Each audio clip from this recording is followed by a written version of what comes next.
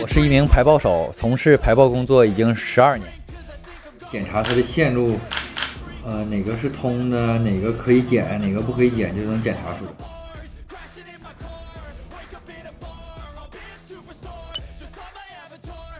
呃，我叫王明，呃，是长春市公安局特警支队搜排爆大队四级警务技术主管。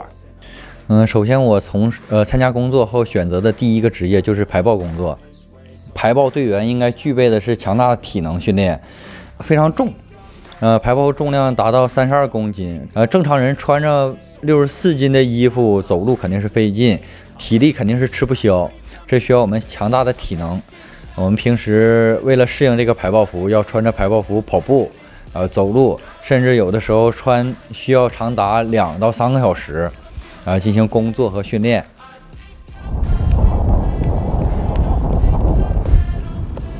然后，还有就是我们在训练的时候，为了达到排爆手的手稳，包括夹黄豆训练、穿针引线，啊，包括穿大米，这都是我们基本训练。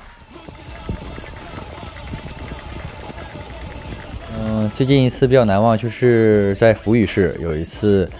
发现一颗遗留迫击炮弹，在一名村民家。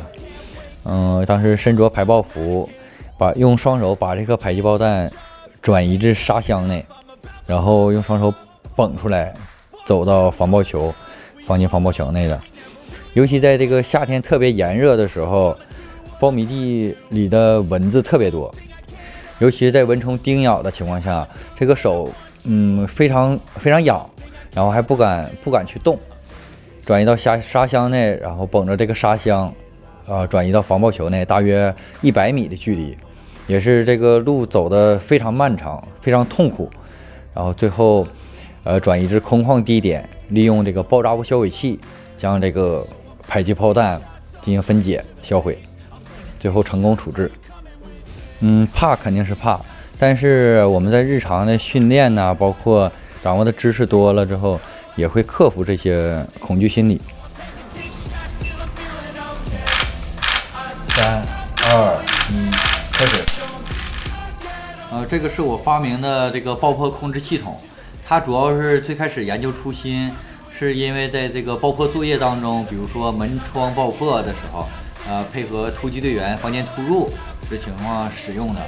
呃，它可以设定定时起爆，以及无线遥控，以及这个有线遥控起爆，也是很多种方式结合到一体的机器。呃，它在这个爆炸物销毁的过程当中可以广泛的应用，呃，可以同时销毁五路这个线路，呃，起爆装置，呃，可以连接上百枚雷管。